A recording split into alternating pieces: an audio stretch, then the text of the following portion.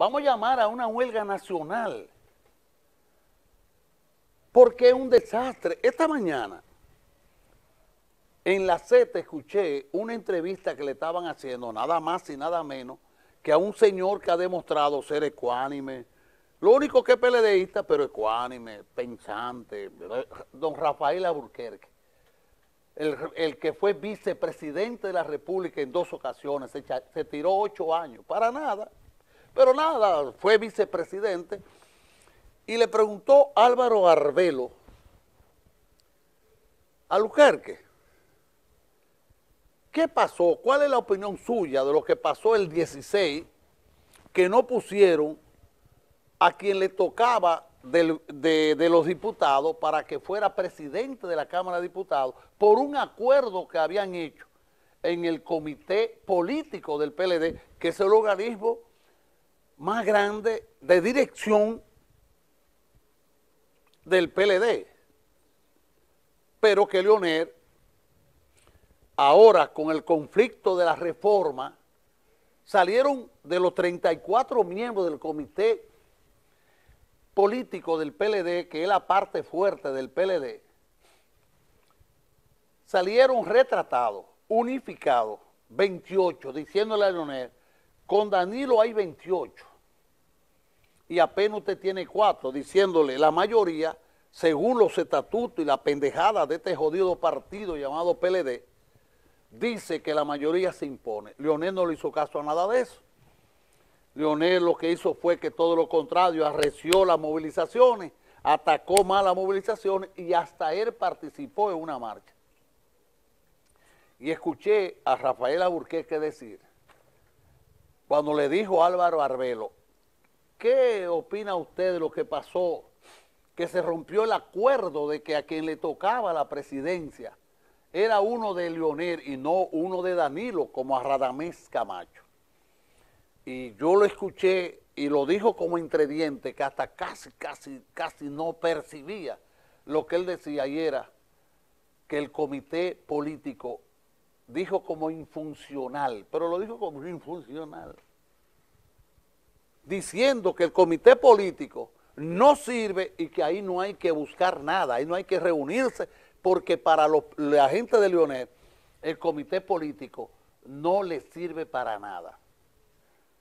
Eso significa que no habría reunión en el comité político porque quizá Leonel no va a estar presente en esa reunión. O el comité político decide aplicar los reglamentos y sacar a Leonel Fernández del comité político. O sea que esa división del PLD con esa frase de desconociendo ese organismo como es el comité político, por parte de un señor ecuánime que pertenece al comité político. Y un señor que, como son los PDIstas, pero en el fondo son la misma vaina, todo. El que habla mucho y que no habla, el sereno y no sereno, todos son las mismas cosas parecidas, porque así se fabricaron ellos. Entonces yo creo que llegó la oportunidad de que la unificación de este país sería, debería ser en base a un llamado a una huelga nacional repetitiva hasta que renuncie Danilo. Del caos de que ha producido en este país y por encima de eso, el hombre insiste en reelegirse. Uno abre este periódico y se dará cuenta, mírenlo ahí, Danilo en campaña. Y Danilo, las tres cosas que yo planteo que Danilo tiene para no reelegirse, que es una enfermedad, un tiro, o una oposición de Estados Unidos, ninguna de esas tres se han dado.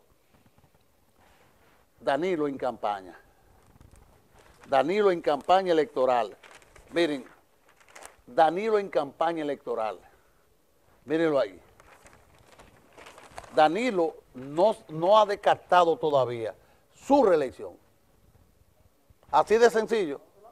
Entonces yo creo que ante la realidad de lo que se está viviendo en este país, deberíamos comenzar a calentarnos y hablar de huelga nacional.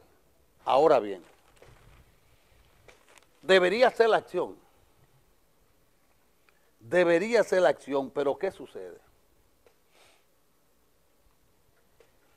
Que tenemos instituciones que son poderosas.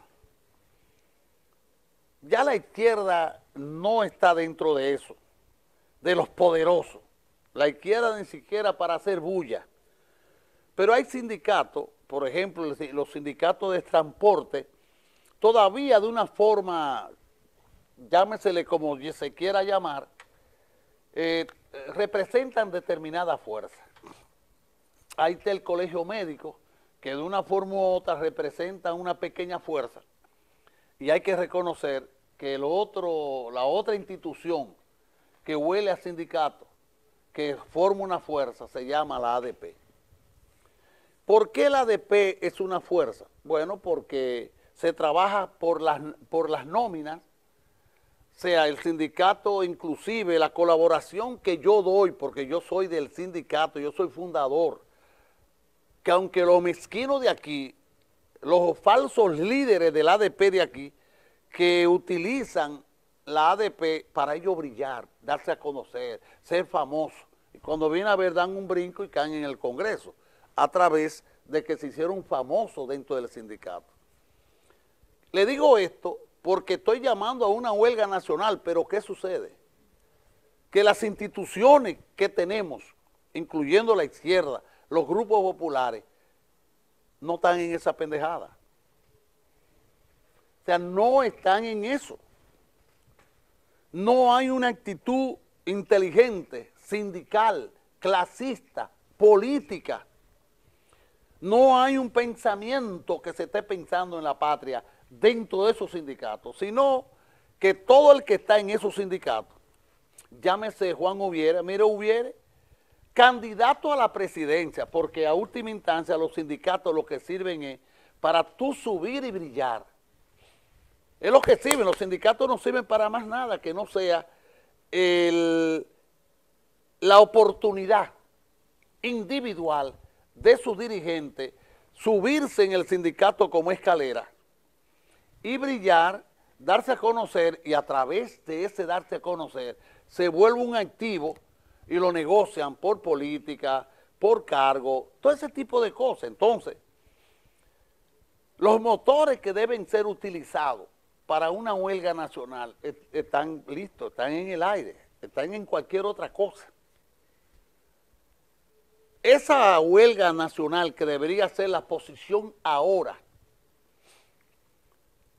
ante la respuesta de, Mejía, de nuestro obispo Mejía Vallejo, debería estar acompañado con la, poniendo los clavos de Cristo, crucificarnos. De lo contrario, la denuncia es una